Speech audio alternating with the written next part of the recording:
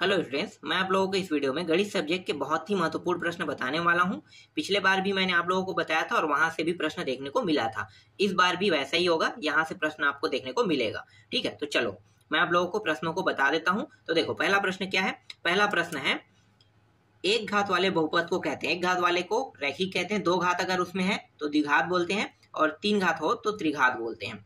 आगे देखो दूसरा प्रश्न समीकरण x माइनस दो वाई बराबर चार का एक हल है। तो यहाँ पे जो y है ना, इसके मान को ज़ीरो कर दो। तो क्या होगा, x का मान चार आ जाएगा, y का मान ज़ीरो तो चार ज़ीरो यहाँ पे दिया हुआ है। दो, चार और यहाँ पे तीन दिया है। तीनों को जोड़ दो, कितना होगा? नौ हो जाएगा ना, और 180 से भाग दो, कितना आ जाएगा? मतलब 180 को नौ से भाग दोगे तो कितना आएगा? नौ दुनिया अठारह बीस आएगा ना। तो सबसे क्या पूछा है, सबसे छोटा। तो बीस और दो एक्स तो कितना हो जाएगा? बी दूनी चालीस तो चालीस अंश यहाँ पे उत्तर आ जाएगा। समान आकार एवं समान आकृति वाले आकृति वाले आकृतियाँ होती है। सर्वांग सम होता है ना? आयत का प्रत्येक कोण नब्बे अंश का होता है। अर्धगोले का आयतन कितना होगा? अर्धगोले का आयतन दो अपान तीन पाई आर क्यूब होगा। ठीक है, इसके बाद देखो, यहाँ पे कुछ रिक्त स्थान दिया हुआ है। तो रिक्त स्थान में क्या पूछा है भाई? गुणांक पूछा है ना एक्स स्क्वायर का तो इसके साथ क्या है? कुछ नहीं हुआ है मतलब एक का गुड़ा है तो यहाँ पे माइनस लगा तो माइनस एक हो जाएगा। इसमें क्या पूछा है भाई? एक्स बराबर एक रख के हल करोगे तो वाई का मान कितना होगा? तो वाई का मान यहाँ पे प्राप्त हो जाएगा, ये तो एक रख दिया है ना? ये वाई का मान यहाँ पे हो जाएगा वाई का दो। यहाँ पे थोड़ा सा गलती हुआ है ना? यहाँ पे दो बटे पाँच होगा, क्योंकि ये दो वाई का मान हो जाएगा, दो बटा, नहीं नहीं, एक मिनट एक मिनट। इसको क्या करेंगे? इसको इस साइड ले जाएँगे तो घट जाएगा ना, इसका मान एक रखेंगे तो तो ये चार हो जाए, चार में दो, ठीक है, दो, सही है। सरल रेखा का वह भाग जिसका एक बिंदु हो, क्या कहता है? किरण कहलाता है। समकोण त्रिभुज की सबसे बड़ी भुजाएँ कर्ण होती है। दो वृत्त सदैव समरूप होते हैं। आंकड़ों दो, ये सब दिया हुआ है इसमें बहुलक। जो सबसे ज़्यादा बार आया है, कौन आया तीन आया तीन इसका बहुलक होगा। ठीक है, बहुलक निकालना जानते हो ना?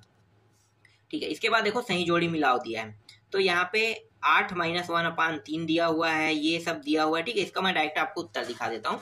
यहाँ पे दो पद यहाँ पे छूट गया है तो यहाँ पे सारे का उत्तर देख लो, ठीक है? ये रहा, यहाँ पे उत्तर लगा हुआ है। मूल बिंदु को ज़ीरो ज़ीरो कहते हैं, ज़ीरो दो, ये वाई अक्ष में है, ठीक है? चलो, आगे देखो, एक शब्द, एक वाक्य में उत्तर। तो एक शब्द, एक वाक्य में उत्तर में देखो, पहला प्रश्न क्या है? ये किस चतुर्थांश में माइनस में है। वाई का मान मतलब चतुर्थ चतुर्थांश में होगा।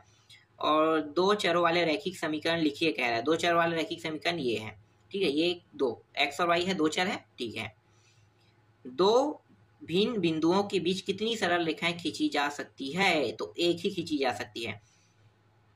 त्रिभुज के तीनों अंत कोणों का योग एक सौ अस्सी अंश होता है।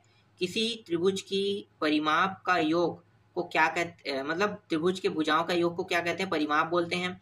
और इसमें अंतर कितना है? घटाओगे तो बीस का अंतर होगा। ठीक है? चलो, आगे देखते हैं सत्य असत्य देख लेते हैं। सत्य असत्य में देखो, x बराबर ज़ीरो तो x अक्ष पर समीकरण ये गलत है, असत्य है। ठीक है? क्यों? क्योंकि ये y अक्ष पे होगा। अगर x का मान ज़ीरो होगा तो मतलब y का मान कोई भी कंडीशन में ज़ीरो नहीं होगा। तो इसलिए ये क्या है? कथन असत्य है। ठीक है? इसके बाद समीकरण x प्लस दो वाई बराबर तीन का एक हल एक एक होगा। ये सत्य है। सम दिबाहु त्रिभुज के तीनों कोण बराबर होते हैं। ये असत्य है। समांतर चतुर्भुज के सम्मुख कोण बराबर होते हैं, ये चौथा है ना? चौथा सत्य है, पांचवा सत्य और छठवा जो है असत्य है। ठीक, अब मैं आपको दिखाने वाला हूँ। अभी जो मैंने बताया है, उसमें से आपको कम प्रश्न देखने को मिल सकता है, लेकिन अधिकतर जो प्रश्न आपको एग्ज़ाम में देखने को मिलेगा, ज़्यादातर वो है दो, तीन, चार नंबर के प्रश्न। तो देखो, दो, तीन, चार नंबर के प्रश्न मैं फटाफट दिखा देता हूँ। ठीक है, इसको प्रैक्टिस कर लेना, जैसा भी जो भी करना चाहते हो, जैसा रटना चाहो, रट लो। ठीक है देखो, ये प्रश्न है, इसके बाद इसमें अथवा प्रश्न ये दिया हुआ है, फिर ये वाला प्रश्न है, ये इसका अथवा प्रश्न है, ठीक? और इसके बाद आठवां प्रश्न है, ये अथवा है, और अथवा के बाद, आठवां के बाद नौवा, और ये इसका अथवा प्रश्न है। मैं फटाफट दिखा रहा हूँ, बोलूँगा तो समय समय ज़्यादा लगे, इसलिए एक बार देख लेना, ठीक है? दसवा प्रश्न ग्यारहवा, बारहवा, ये ग्यारहवा, इसका अथवा प्रश्न, फिर ये बारहवा प्रश्न, थोड़ा सा समय भी मिल रहा है इसको देखने के लिए, ये बारहवा का अथवा है।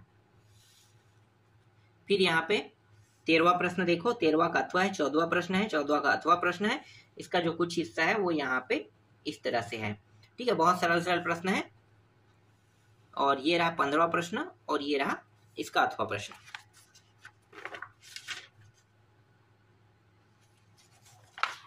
और इसके बाद ये रहा सोलवा प्रश्न, सोलवा का अथवा प्रश्न सत्रह है अट्ठारहवा प्रश्न है। ठीक है, और इसके बाद उन्नीसवा देखो, बीसवा देख लो। और ये इक्कीसवा और बाईसवा प्रश्न। और ये रहा इसका तेईसवा प्रश्न। ठीक है, तेईसवा तक हो गया। इसके बाद सेट बी वाले में देख लेते हैं। इसमें जो एक एक नंबर के प्रश्न उसको नहीं देखेंगे, वो नहीं आता है। अधिकतर जो प्रश्न आ रहा है, वो है दो नंबर के प्रश्न ना। तो दो नंबर के प्रश्न में देख लो प्रैक्टिस करना बिल्कुल गारंटी ऐसे ही प्रश्न आपको देखने को मिलेगा। आठवां तक के देख लो, आठवां का अथवा प्रश्न ये रहा। फिर यहाँ पे नौवा प्रश्न है। नौवा नौवा गथवा है, दसवा है, दसवा गथवा है, ग्यारहवा प्रश्न है, ग्यारहवा गथवा दिखाता हूँ मैं अब आपको। ये रहा ग्यारहवा कथवा प्रश्न। ठीक है, इसके बाद है बारवा है बारवा का अथवा प्रश्न है, तेरहवा प्रश्न, तेरहवा कथवा चौदवा प्रश्न चौदवा का अथवा भी हो गया। ठीक है, एक प्रश्न और है, यहाँ पे पंद्रवा प्रश्न, ठीक है। तो पंद्रवा प्रश्न ये सब दो दो नंबर के, पंद्रह तक सोलवा सत्रह भी दो दो नंबर के रहेगा। तो ये पंद्रह कथवा है सोलवा है सोलवा सत्रह और ये सत्रह का अथवा है। फिर अट्ठारहवा प्रश्न दिखाता हूँ मैं। ये रहा अट्ठारहवा प्रश्न अट्ठारहवा उन्नीसवा, अथवा भी साथ में लगा हुआ है ना? और ये बीसवा, इक्कीसवा। इसके बाद मैं आपको दिखाता हूँ। ये बाईसवा प्रश्न और तेईसवा प्रश्न। ठीक तो बाईसवा, तेईसवा हो गया। और भी प्रश्न है, उनको भी दिखा देता हूँ। देखो, ये रहा कुछ प्रश्न और है यहाँ पे। जैसे कि यहाँ पे छठवा, सातवा, इसका अथवा प्रश्न है। ठीक है, ये प्रश्न परीक्षा बोध में। कुछ लोग कमेंट कर सकते हैं कि ये परीक्षा बोध के प्रश्न है तो बिल्कुल परीक्षा बोध सॉरी परीक्षा अध्ययन परीक्षा अध्ययन का प्रश्न है तो परीक्षा अध्ययन से प्रश्न आ रहे हैं, इसलिए मैं आपको दिखा रहा हूँ। जिनके पास है, वो परीक्षा अध्ययन से देख लेना, ठीक है? इसके बाद ये आठवां, नौवा, ये दसवां प्रश्न, ग्यारहवा, बारहवा और तेरहवा प्रश्न हो गया, ठीक है? इसका अथवा दिखाता हूँ, तेरहवा का, ये रहा तेरहवा का अथवा और चौदवा प्रश्न, ठीक है? प्रैक्टिस कर लेना, प्रश्न आ रहे हैं यहाँ से। इसलिए आप लोगों को बताया जा रहा है। फिर यहाँ पे पंद्रवा प्रश्न है, सोलवा प्रश्न है, सोलवा का अथवा देख लेते हैं, ये रहा, ठीक है, इसके बाद सत्रहवा प्रश्न देखो। सत्रह है, अठारवा प्रश्न है, ठीक है, अब उन्नीसवा और बीसवा दिखाता हूँ, ये उन्नीसवा प्रश्न बीसवा प्रश्न।